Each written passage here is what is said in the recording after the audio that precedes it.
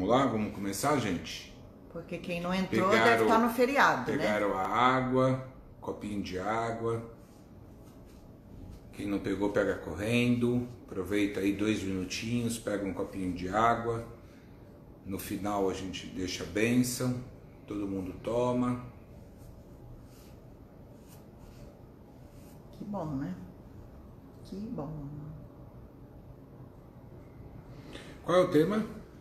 Então, nós ainda estamos. Nos quatro compromissos. Nós estamos lá nos, no livro Os Quatro Compromissos. E a gente chegou basicamente ao fim dele, que se chama Quebrando os, os Antigos Compromissos. Então, para você iniciar novos compromissos, você precisa quebrar os antigos. E ele traz. Renovar, é, se abrir, né, pra... permitir. Tá inspirado, Estou né? inspirado hoje. E aí, ele traz três soluções para você quebrar esses antigos compromissos. A gente já viu duas.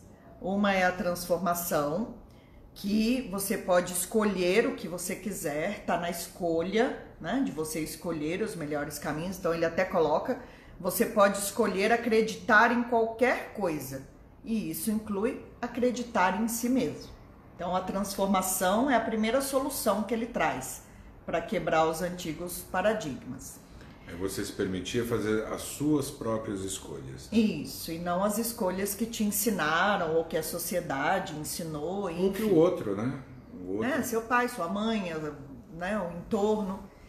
Aí a segunda solução ele chama de disciplina do guerreiro.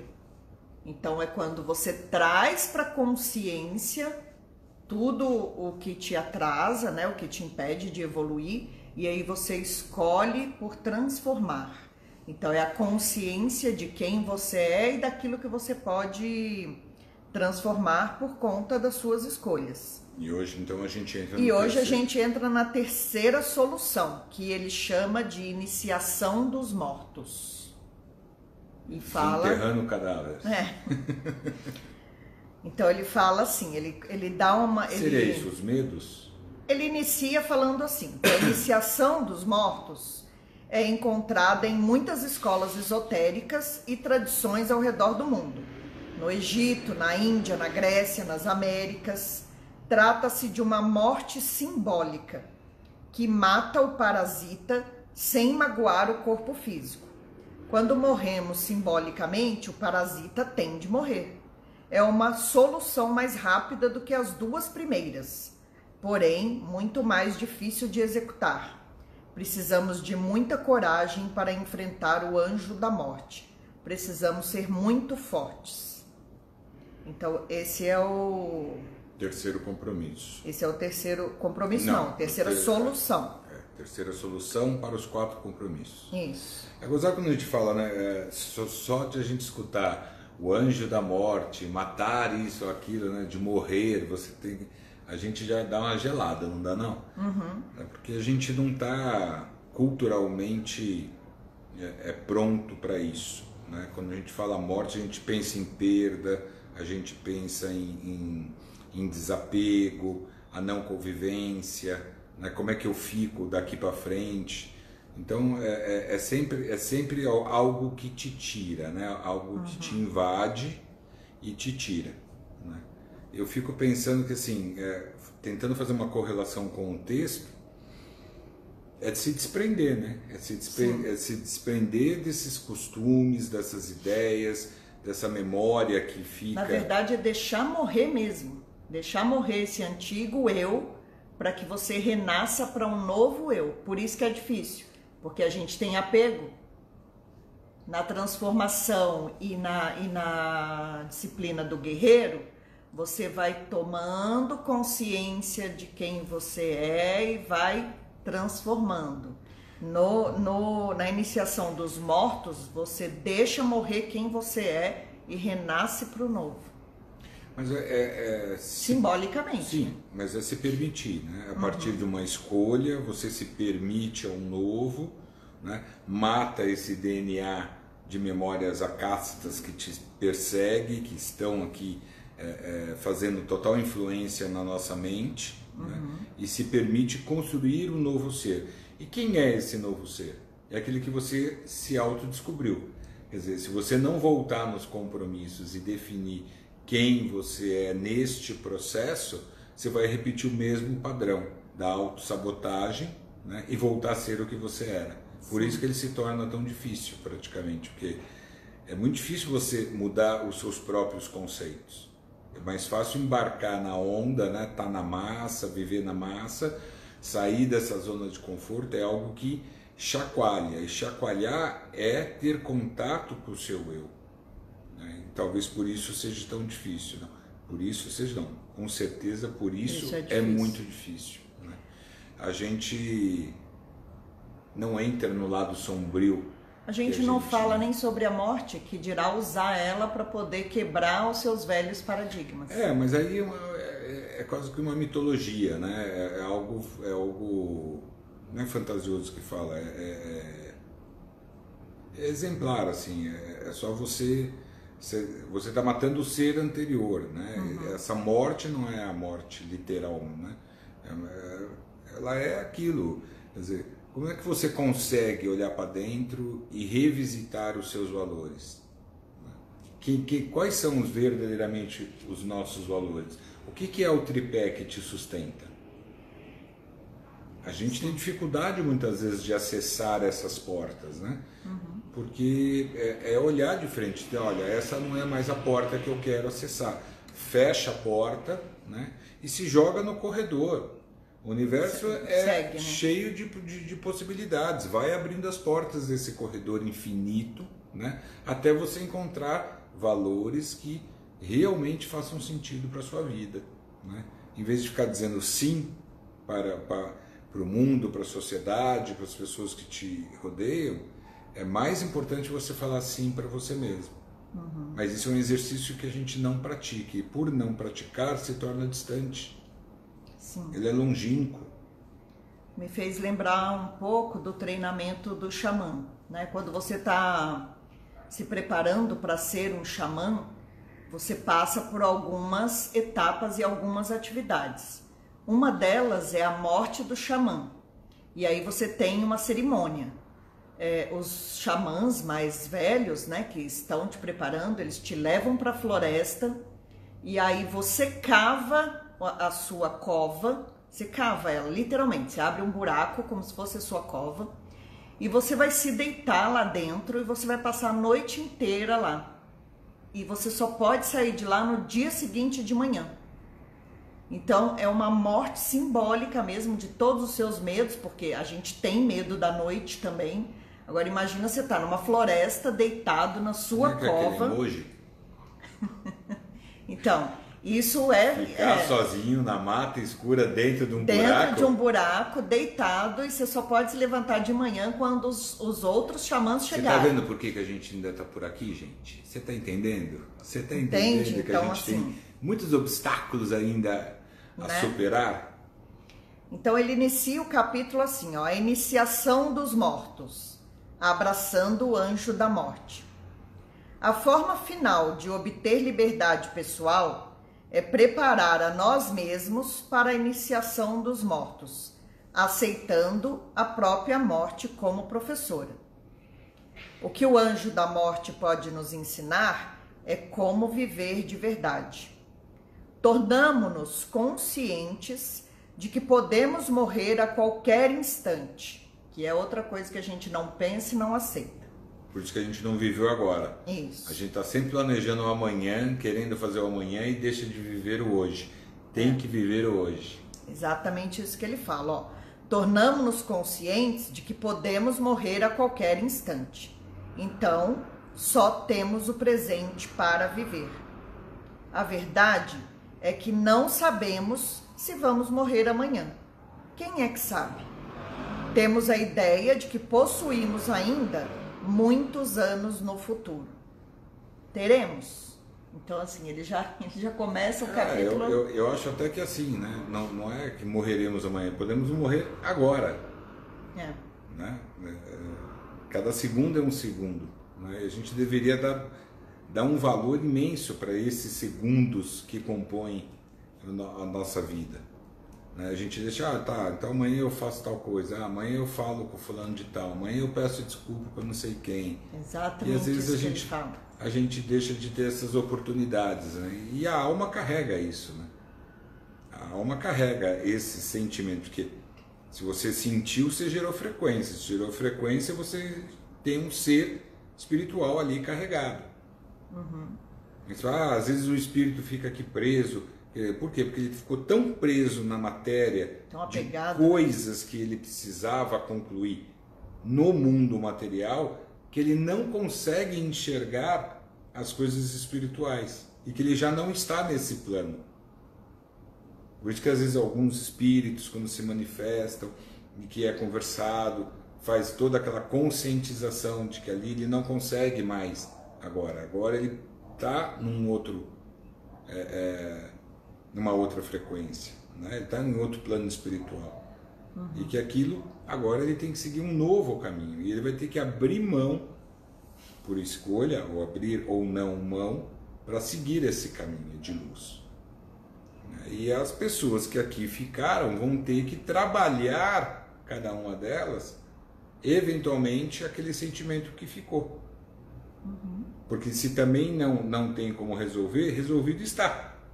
Exato. E a gente fica, puxa, mas eu tinha que ter feito isso, puxa, eu não disse isso, puxa. Então, vai ser só na próxima, querido. Nessa, Já o foi, que você né? pode fazer é exteriorizar.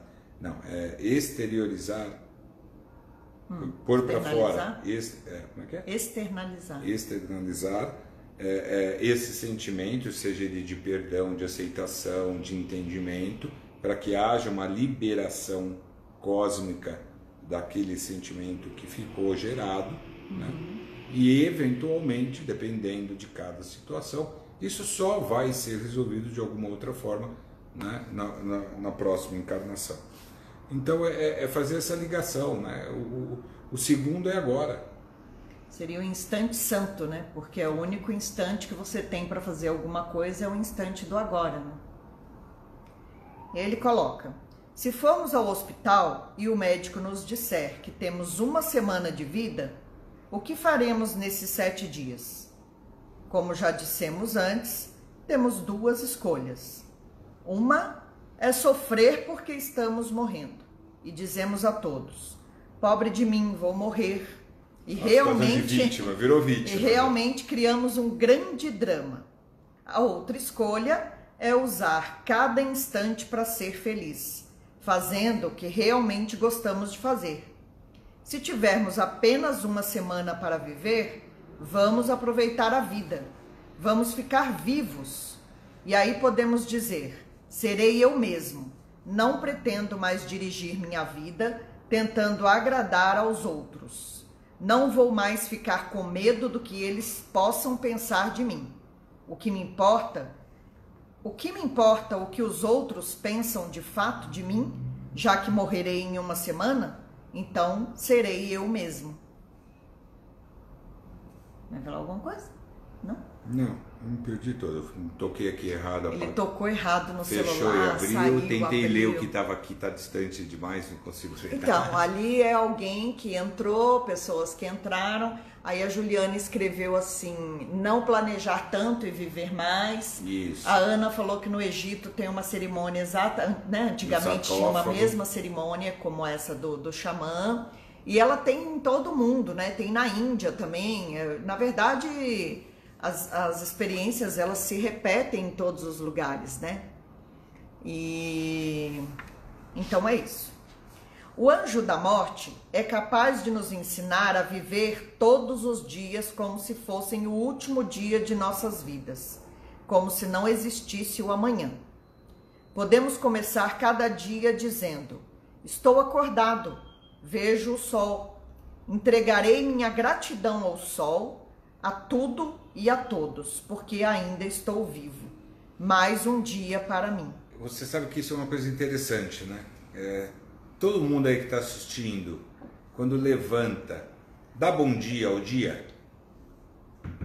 Eu dou bom dia pro sol. Eu abro a minha janela e falo bom dia, sol. Quando tá chovendo? Me sinto doido. Eu dou bom dia também. Ele tá lá. Então não é ao sol. Eu dou bom dia ao dia, né? Estou vivo, gratidão obrigado, que a gente seja companheiro ao longo dessas horas, né?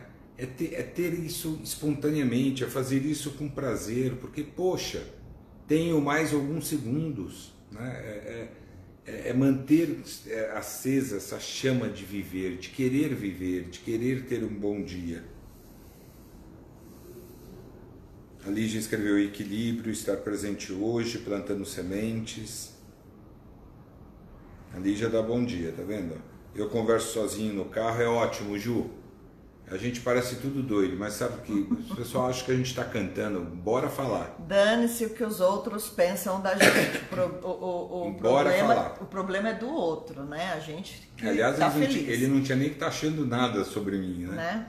Então, assim, é muito bom. Conversa mesmo, vá falando, raciocina as coisas do dia, relembre os valores que você quer ressaltar para que o universo traga possibilidades de você exercitar e que se, ele se torne cada dia né, mais presente.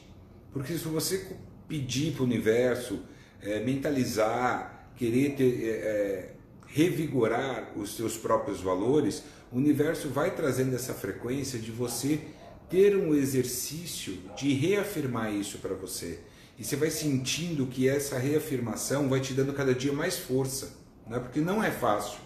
Não é fácil resgatar sentimentos e valores que a gente carrega, né? mas eles são os, o, o, mais importante. Então, é um dos exercícios muito, muito, muito legal de fazer é conversar com o próprio espelho, é conversar sozinho dentro do carro, é falar com o universo. Pode falar com as flores? Fala com as flores, né? Então assim. Com as plantas. É, é, é, é tá emanando isso, né? Tá sentindo, porque quando a gente pensa, quando a gente quer, quando a gente deseja, a gente cria uma potência interna de, de luz, de força, né? De alta frequência, é uma frequência extremamente sutil, né? Então, quando vem do coração, a gente manda isso constantemente como flashes, são raios que saem da nossa mente para o universo e eles vão para essas frequências e ele vai revigorar e vai voltar. Volta como? Possibilidades. E aí entra o segundo exercício, a escolha. Você pegar aquela oportunidade que o universo te trouxe e fazer uso dela praticar aquilo que você falou, aquilo que você sentiu. Aí vem a atitude, é o terceiro elemento, é o fazer, é o realizar, é o, é o, é o querer, o poder e o fazer. Né? Então, isso cria força, isso materializa.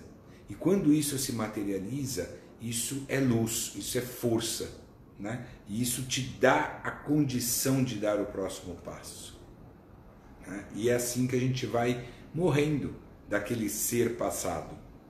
E esse ser novo vai brotando, vai criando raiz, vai renascendo dentro de você. E você vai tendo a certeza de que ele existe e que ele é bom para você. Porque a gente se questiona o tempo inteiro. A gente se testa o tempo inteiro. Seja o ego, o superego, a autossabotagem. Estão presentes. Mas quanto mais firme e mais você praticar esses é, é, valores, com certeza eles vão estar cada vez mais forte e mais apto a estarem no seu dia a dia. Vira rotina, rotina boa. Essa é a forma como eu vejo a vida, e foi isso o que o anjo da morte me ensinou.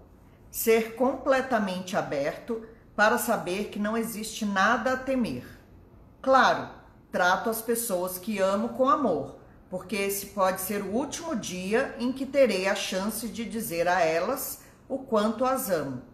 Não sei se vou vê-las outra vez, por isso não quero brigar com elas. E se eu tivesse uma grande discussão com você e lhe despejasse todo o meu veneno emocional e você perguntaria para mim: "E agora?" E aí nesse caso, você morreria amanhã. Opa, Oh meu Deus, o juiz que existe dentro de mim iria me pegar de jeito e eu iria sentir-me culpado por tudo que disse a você.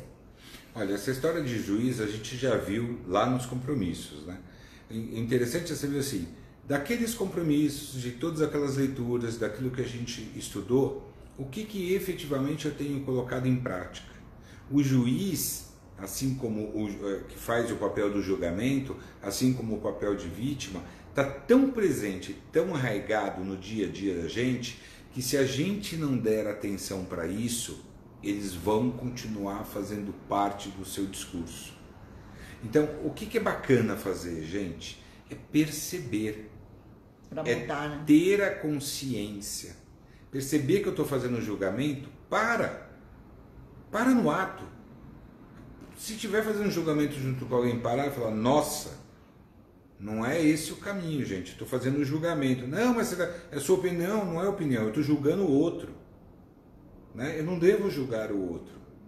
Eu, Assim como eu não quero ser julgado por ninguém. eu brinco, né? Que, Então- que Deus mandou a gente para a gente não fazer julgamento. E é tudo que a gente não faz. Né? Então, mas que é um exercício contínuo que a gente está sempre opinando, sempre querendo dar opinião, sempre achando que tem que dar essa opinião, sempre julgando atitudes e, e palavras dos outros. Quando você estiver fazendo isso, é o melhor momento de cortar. Essa é a hora de cortar esse cordão umbilical. Parar. É, é demandar na sua consciência. Eu paro. Não farei esse julgamento. É porque eu não sei o que a outra pessoa está passando, eu não sei pelo que ela passou, eu não sei o que tem na cabeça dela, como eu não sei o que tem na minha própria cabeça, né? Mas a gente faz julgamento o tempo todo. Então, mas se você não, não exercitar a quebra, você está sempre deixando para a próxima oportunidade. Quando você paralisa o momento da ação, você começa a destruir esse cordão umbilical que é né, é- essa, essa demanda que a gente fica é, vivenciando todo dia. né? A mesma coisa quando eu estou no papel de vítima.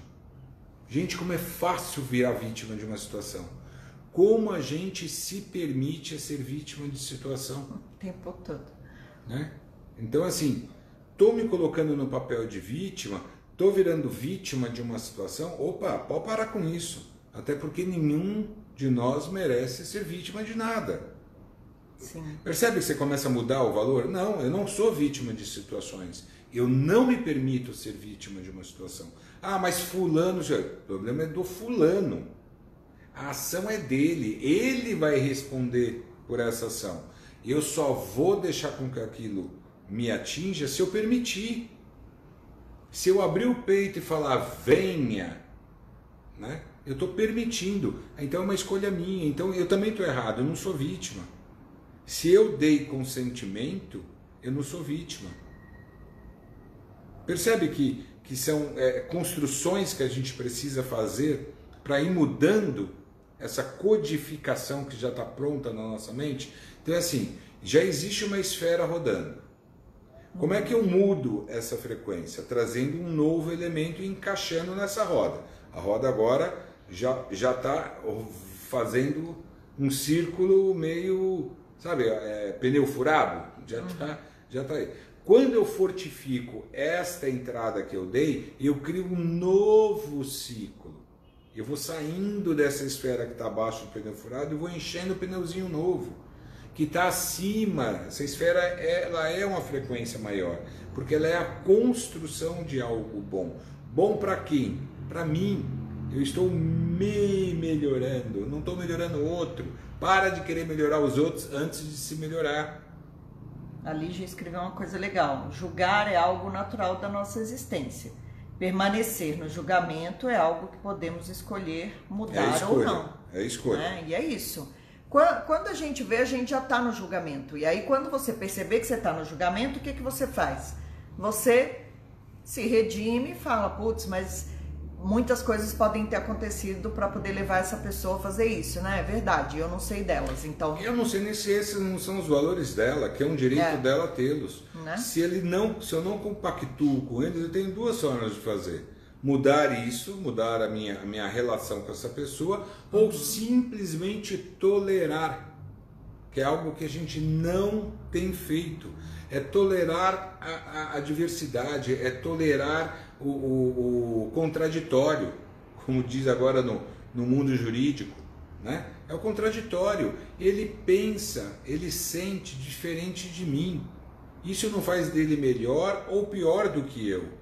Ele tem um caminho, tem os seus valores, as suas descobertas e o seu crescimento, porque ele está aqui em aprendizado tanto quanto eu.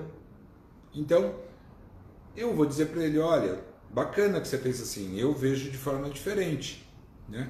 Então, siga o seu, eu vou continuar com o meu. Um não precisa ter intolerância com o outro, eu não preciso fazê-lo com que ele aceite o meu ou eu aceite o dele. Aceitar com que ele tenha uma opinião diferente da minha, sim. E ponto. E segue a vida com leveza. É... E aí ele coloca assim, ó, eu posso despejar todo o meu veneno emocional em você e mesmo assim te amar. Então, ainda iria me sentir culpado por ter despejado meu veneno emocional em você, mas não ter dito quanto eu te amo. O amor que me faz feliz é o amor que posso compartilhar com você. Porque eu precisaria negar que amo você? Não é importante que você retribua esse amor. Eu posso morrer amanhã, você pode morrer amanhã. O que me torna feliz agora é deixá-lo saber o quanto amo você. Vivendo dessa forma, você se prepara para a iniciação da morte. O que acontecerá nesta iniciação é que o velho sonho que você abriga em sua mente vai sumir para sempre. Sim, você terá lembranças dos parasitas, do juiz, da vítima e das coisas em que costumava acreditar, mas eles estarão mortos. Então, eu acho que assim, duas coisas eu queria dizer. Primeiro, eu amo todos vocês, né? Porque eu acho que tem muito sentido isso. Dizer né? Não ter Quanto vergonha. A gente ama, né? Não ter vergonha. A gente tem vergonha de dizer eu te amo para as pessoas, dizer que gosta das pessoas, mostrar este amor, né? Tem que estar sempre tudo. Não. Amor é algo lindo, gente, é algo que tem que ser provido. A gente tem que jogar isso para o universo, para todas as possibilidades que tem. Segunda coisa que eu queria dizer, tem um comentário da Ju, da Ju aqui em cima, que o problema é que muitas vezes achamos que podemos julgar e não aceitamos como somos julgados. Eu acho que aí começa o problema, Ju. Você sabe o que, onde eu vejo? É, o problema é que muitas vezes achamos, nós não temos que achar nada. A gente acha. É essa, é, é essa é, é reconstrução que a gente precisa fazer. Primeiro, me colocar no meu lugar. Né? E o meu lugar não é o do julgamento não é de julgar o próximo. Então eu já não ocupo esse lugar. Quando eu acho que eu posso, já houve uma permissão, já fiz uma escolha. E a escolha tem que ser de não julgar. Então tem um processozinho antes de achar que a gente a, acaba se auto-sabotando. Porque eu escolhi que eu posso achar que eu vou julgar. E na verdade não. O erro tá um pouco, o, o, o, erro que a gente comete é um pouquinho antes. Né? É, é, é fazer emocional que É, mas essa é a né? escolha, né? Cada vez que eu faço um julgamento, na verdade, eu estou emanando para o outro todo o meu veneno emocional. Sim. Que aquilo que eu estou falando, na verdade, é meu. Faça do seu veneno é de, é um soro antiofídico, né? minha filha. Não, não, não jogue para o outro. É, né? o, que eu, o que eu acabo falando do outro, na verdade, está dentro de mim também para ser resolvido, né? Só que é mais fácil enxergar no outro. Então, então mas é, é, é, o processo, né? É, é, é, criar esta regra. E eu, quando eu faço a escolha de não julgar, de não achar que eu posso julgar, eu já tolhi lá, lá na raiz. Eu, eu fui lá para o início da questão. Então eu não vou ter o segundo, que é o achar, o terceiro, que é fazer o julgamento. Eu já estou me condicionando a, dentro da minha escolha de não fazer o julgamento. Então, e, é. quando eu escolho isso, eu não tenho que achar. Quando eu pensando, me permito é. que o achar não existe, né? porque a gente tem o achar dentro da gente, tira o achar. Eu fiquei pensando dentro disso que você falou assim, o que eu acho disso? Não acho nada. Né? Que aí é quando você está quebrando o, o, achismo e o julgamento. E se alguém perguntar para você o que, a pessoa te conta uma história e pergunta o que, que você acha disso, você também pode responder, não acho nada. Né? Não tem que achar como nada. Como assim não acha nada, né? É, eu, acho, é. eu já escutei tantas vezes, mas como assim? Você não consegue ter opinião sobre isso? Não, opinião eu tenho. Eu mas... só não vou exterior, exter, dizer qual é, porque ela cabe a mim, a opinião é minha, Sim. não é sua e nem dos outros. Então, assim, quando é algo que vai envolver o outro, sobre uma situação do outro, que não cabe a mim, que, que não me achar? envolve, o que, que eu quero dar opinião? É aí que mora o aprendizado. Aí você teve atitude né, de ser o contraditório para aquela situação e de não cair na massa. A massa vai fazer o quê? Julgar. Sim. É isso que vai morrer durante a iniciação dos mortos, os parasitas, o juiz, a vítima e todas as coisas que você costumava acreditar. Não é fácil partir para uma iniciação assim, porque o juiz e a vítima lutarão com todas as suas forças. Eles não querem morrer. Sentimos que corremos o risco de sucumbir e assim ficamos com medo dessa morte. Quando vivemos o sonho do planeta, é como se estivéssemos mortos. Quem quer que sobreviva à iniciação recebe um presente maravilhoso, a ressurreição, que é renascer e levantar-se dos mortos, é estar vivo, é ser você mesmo outra vez, é ser como uma criança, selvagem e livre, mas com uma diferença. Temos liberdade com sabedoria em lugar de inocência. Por que, que a criança é pura que a gente fala? Porque ela não foi ainda né, domesticada pela sociedade com os valores que não pertencem a ela. Na verdade, a gente acaba exercendo na criança, né, sufocando os valores e, e, e que eu imagino ser, ser o melhor, Uhum. porque é um machismo meu, de pai, de mãe, de vó, né, de passar isso e de que ah, é assim que é. Mas tem que ser assim? É. O quanto a gente sufoca gerações, né? A gente fala, pô, mas geração que tá vindo, tá isso, tá aquilo, mas por quê? Será que não é aquela panela que abriu e a fervura estava lá dentro? Ela vai espalhar, ela vai cair para tudo que é lado, mas o fogo depois vai ficar brando, a água vai descer e as coisas vão seguir. Né? São rompantes que precisam.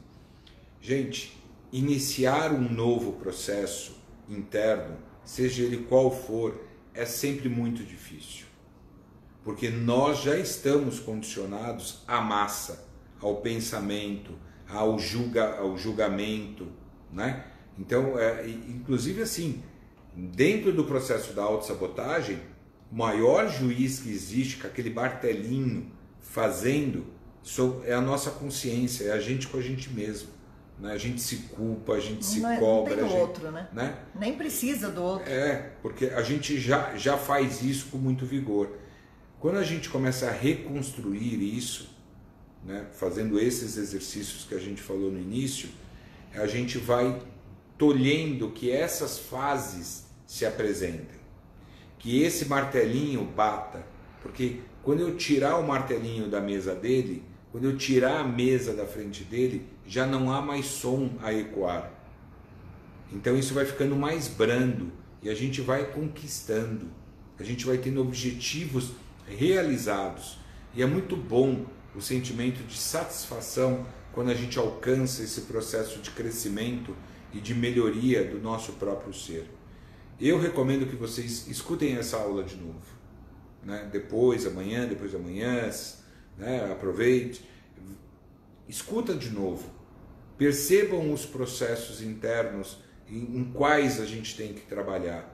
Começa com um deles. Vai- Começa vai mudando observando, pequeno. né? é, Porque isso vai, vai ecoando na cabeça. A consciência vai chamando e ela vai te jogar as oportunidades de você ter um recomeço diferente, menos árduo, porque difícil será sempre. O que, que a gente inicia na vida que é fácil?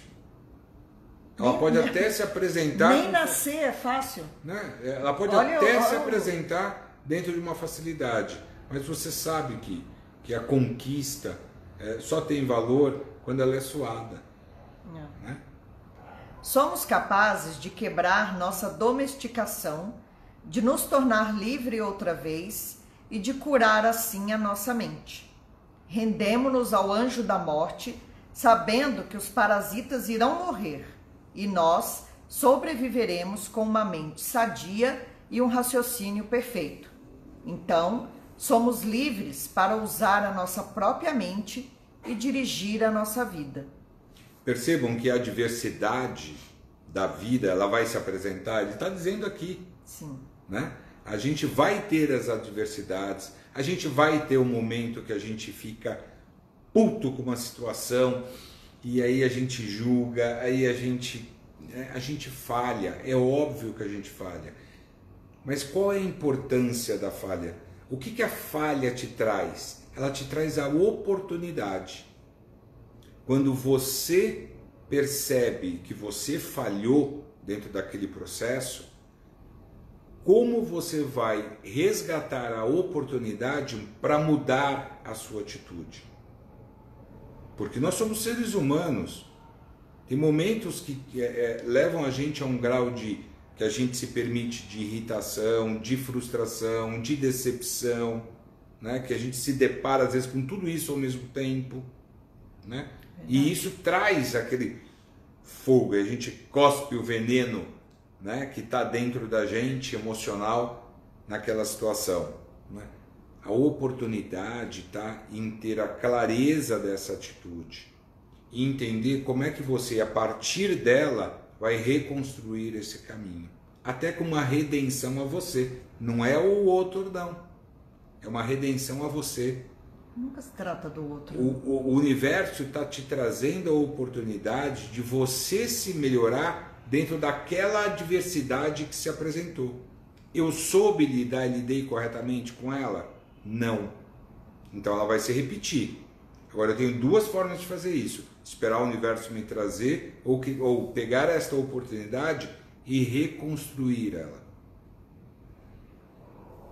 Eu achei esse parágrafo bem impactante.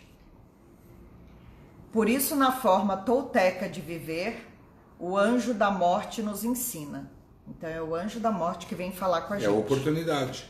Ele vem até você e te diz: Você viu que tudo o que existe aqui, neste planeta, é meu e não seu? A sua casa, a sua esposa, o seu esposo, os seus filhos, o seu carro, a sua carreira, o seu dinheiro, tudo é meu. Posso tirar de você quando eu quiser, mas por enquanto pode ir usando. É isso. Afinal, quando você morrer, o que, que você vai levar de todas essas coisas que você Nada. fez? Nem você não leva. Só o que você conheceu. Sim. Foi o teu processo de aprendizado, né? Mas esse desapego, esse entendimento. Mas, mas é pesado, né, ouvir ela. Que, que assim, é como, se, verdade, é é como se a seu. morte parasse aqui na sua Não é frente e seu. falasse. Você tem a "Você tá possibilidade isso ou, aqui?" ou a probabilidade de você usufruir. Né? Então, por que, que a gente às vezes quer usufruir de coisas que estão tão distante e não damos valor para nada que a gente tem ao nosso redor? É. Né? Como é que você valoriza aquilo que você já, já conquistou? Olhando o saldo bancário é a única forma? Olhando a casa, olhando os móveis? Olhando... Não. Ou se A- desesperando, né? onde estão os valores das conquistas? Né? Eu, eu, você sabe uma coisa que, que, que, que me agrada muito? É o processo de, de, de melhorar pessoas. Né? Quando, quando você tem a oportunidade de criar situações, de ser ponte, de melhorar pessoas, nesse processo é um processo de aprendizado meu, quando eu faço, ou qualquer um de vocês o fazem, né? Mas é também a oportunidade que o universo te deu de ser. E isso foi uma escolha. Você escolheu. Então, olha o baita valor que isso tem e que você não leva, porque a melhoria do outro é do outro, não é sua. Olha o tamanho de desapego que você tem que ter. Você pode ficar feliz por esse processo todo, mas é um tamanho de desapego porque nada daquilo que foi conquistado pelo outro é seu ou faz parte de você. Não te pertence. Só que na hora que você ensina, você também aprende, né? Sempre, sempre. É um aprendizado maravilhoso, lindo, muito bacana de fazer, porque é todo um processo. Porque você tem o tempo de amadurecimento seu e da pessoa, ou da situação, ou da conquista, né? Mas é, é de total desapego, né? Então, porque você não pode ter aquilo que o outro tem. Por quê? Porque é aprendizado dele, não te pertence, por mais ponte que você tenha sido. Uhum. Então, é, percebe que é, é o anjo da morte não te pertence, mas não quer, não quer dizer que você não possa ter, ou não possa usufruir, ou não possa conquistar. Agora, onde é que está? É o aprendizado simples, é o aprendizado, é a oportunidade. Gente, dê atenção à oportunidade que o universo traz para né? você oportunidade de ser feliz. Sim, eu acho que é o mais importante. Sim, mas a, a, a gente fica esperando, a gente fica esperando não, sempre alguma coisa para ser feliz. É que a felicidade pode estar em muitas coisas. É você, é você que faz a escolha de dizer quando eu tiver aquilo eu vou ser feliz. Aí foi uma escolha sua. Você limitou a sua felicidade. Você diz que só quando você tiver aquilo vai ser. Quando você permeia a felicidade, quando você enxerga a felicidade na conquista do outro, na sua, nas coisas que estão te rodeando, né? Uhum. É, é, é, de um espetáculo que foi bem feito, né? no sorriso de outras pessoas ao ver uma ação que você é, é criou. Aquilo é emocionante. Por que emocionante? Porque é puro. Porque é puro. É um processo. Né? Você, você jogou você jogou a semente da felicidade para onde passou. E aquilo vai fazer uma diferença, talvez, no dia daquele ser humano. O ser humano pode ter tido um dia super difícil, o mais complicado, mas de repente vem aquela felicidade banha alguns segundos aquela mente, aquele ser. Isso é muito bacana, gente. Isso é um processo interno de cada um ter a oportunidade de semear o amor, o crescimento, o conhecimento. Né? A oportunidade do problema traga a oportunidade. O problema só existiu para a gente ter oportunidade de aprender com alguma coisa. Então aprenda com isso. Se nos rendermos ao anjo da morte, seremos eternamente felizes. Por quê? Porque ele leva embora o passado para que a sua vida possa continuar. De tudo o que passa, ele continua tirando a parte que está morta para que possamos viver o presente. Os parasitas querem que continuemos a carregar o passado conosco, e isso torna muito difícil o ato de estar vivo. Quando tentamos viver no passado, como podemos aproveitar o presente? Quando sonhamos com o futuro, porque precisamos carregar o fardo do passado? Quando iremos aprender a viver no presente? Isso é o que o anjo da morte nos ensina. Nossa, ensina, a estar presente. Ele ensina muita coisa, né? Ele é muito presente no agora, né? De que ao mesmo tempo que você tem, você não tem nada, né? Então, a partir disso, cabe um monte de coisa. Só para a gente fechar, a Bel que fez um comentário aqui que quando a felicidade está ligada a algo e não é sentimento, perde o seu sentido de ser. Só cuidado que quando a felicidade está ligada a algo que não é material, ele pode estar ligado.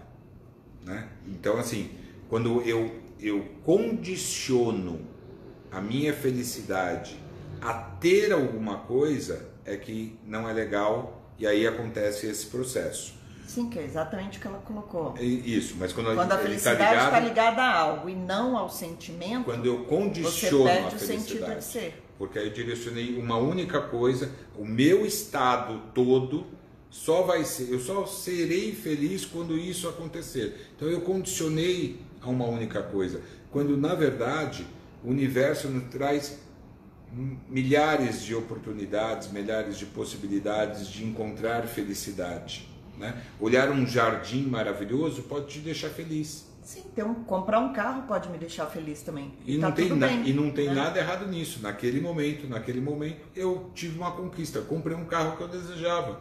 Né? Então, bacana, aquilo também é felicidade. Então, assim, eu acho que a questão aqui é não condicionar a sua vida, o seu agora, né, à felicidade de um único ato, de uma única conquista.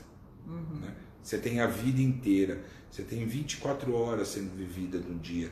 Então, permeie, tente ser feliz o maior número de horas possível no seu dia. Sim. Eu acho que era isso que a gente tinha para hoje. Quando curamos o outro, somos curados também. Também, Eu acho que, que o anjo da morte ele vem mostrar que não existe tempo, né? Não existe tempo. Porque quando você vive no agora. Na verdade, você a gente não, tá tem tempo. controle do tempo. Não, e você não está no tempo. Porque o que, que é o tempo? O tempo, na verdade, é o passado e o futuro. É quando a minha mente fica lá no passado ou fica desejando coisas para o futuro. Quando eu estou nesse instante sagrado, que é o instante do agora, eu não me perco no tempo, né? E, e, e aí eu não preciso ficar me questionando do que o que eu fiz e o que eu não fiz, né? Então eu acho que isso que é que é o mais interessante aqui. Gente, adorei estar com vocês nessa véspera de feriado, né? Sejam felizes. Como eu disse há pouco, amo todos vocês. Muito obrigado, obrigado, gratidão por vocês entrarem, por vocês nos darem essa oportunidade de, de trocar ideia, de falar um pouco o que cada um pensa, de exteriorizar eh, as nossas conquistas e as nossas derrotas, os nossos aprendizados. Né? Então, isso tudo é maravilhoso. Fico muito feliz de vocês estarem aí com a gente. Descansem ou aproveitem ou baguncem a Marina escreveu uma coisa aqui bem interessante. Acho que também é importante aceitar que nem sempre estaremos felizes, mas é daí que vem a oportunidade de descobrir o que nos faz feliz. Sim, é isso, tá certíssimo. Né? Mas o que, o que a gente precisa é, começar a entender também é que, na verdade, quando a gente não está feliz, é porque geralmente a gente está perdido no tempo. Ou a gente está lá no passado, olhando para alguma coisa que não aconteceu, ou a gente está lá no futuro planejando alguma coisa que ainda vai acontecer. Ou você pode né? trazer tudo isso e viver o agora. Né? Então, assim, você aceita que nesse instante você não está feliz, mas o que você pode fazer para retomar a felicidade? Né? Isso, isso é o instante, porque no instante seguinte eu posso. Ó, eu posso... Etuca e Holanda, libere a nossa criança interior. Deixa, deixa ela ela expandir nas nossas vidas. Sim, porque Fiquem aí, bem. Aí não tem tristeza. Boa semana, boas reflexões. Voltem e escutem essa aula. Essa aula sobre o anjo da morte está muito interessante. É muito interessante. E muito lidar. profunda, né? Sim, para aqueles que permitirem. Fiquem bem. Um beijo enorme no coração de vocês. Fiquem com a manhinha aí.